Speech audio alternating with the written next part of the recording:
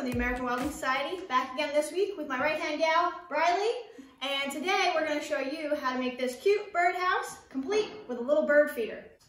Now for today's project, we're gonna need some sheet metal. Uh, I'm using 20 gauge steel. Uh, you can do whatever you want at home. If you've got 22 to probably all the way down to maybe a 12 or 14 gauge.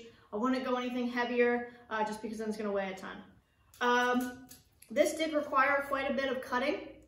So it's gonna be a great exercise for your kids to um, practice with a tape measure. For cutting all the material today, I used my plasma cutter with a straight edge. At home, you can totally use a cutoff wheel. These are all straight cuts that we've made. Briley's gonna tell you some of the pieces that we had to cut. So for the front and back, you're going to need two four and a half by 10 pieces. Then for the roof, you're going to need two five by five pieces.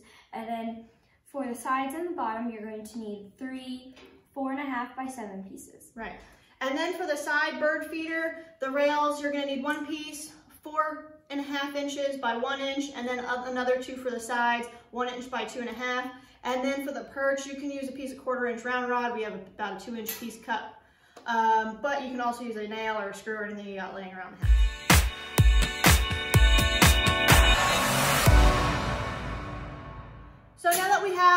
Our pieces cut, we need to cut the angles in the front and the back piece.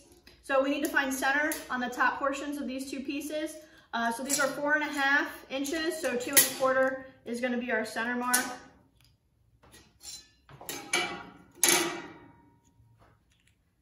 And then from the bottom up each side, we need to come up seven inches because that's our side panels are cut seven inches high.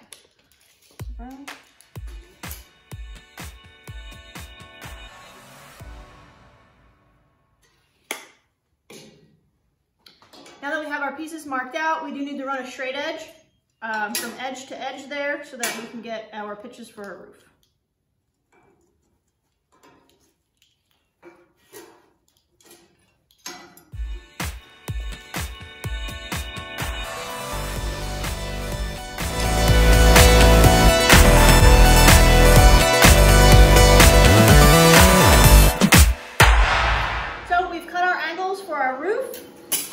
Front and the back. Now we need to put the opening for the bird.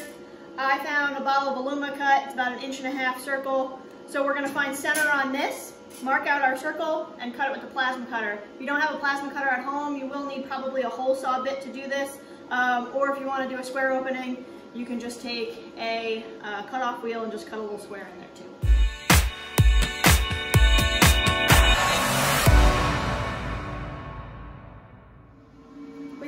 Pieces cut and cleaned up. Now it's time to start welding. Uh, we're gonna start first with our sides and attaching them to the front and back of the birdhouse.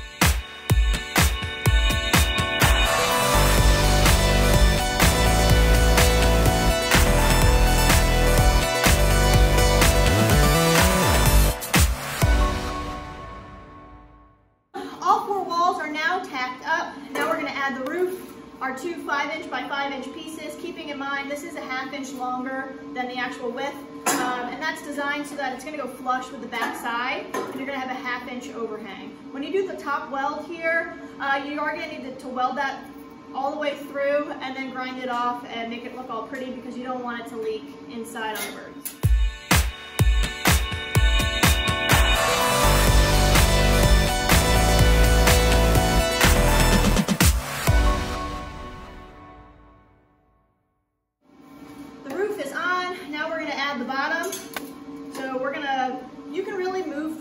Part uh, to any side you want. Um, Briley, which side do you want it on? Um, can we have it maybe in the front this time? All right, so Briley wants to do the feeder this time in the front. So we're gonna make sure it's sticking out that way instead of that way, like in the one uh, we did earlier.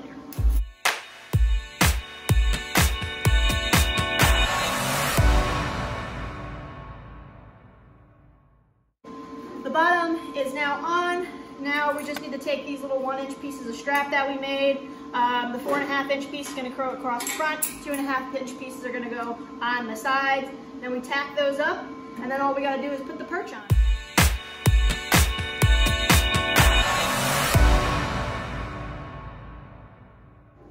So we've got the roof all welded, front on, sidewalls all all tacked up. Everything's good. The only thing we have left to add is the perch. So Briley's gonna find center and kind of find a, pick a spot where she wants to place this.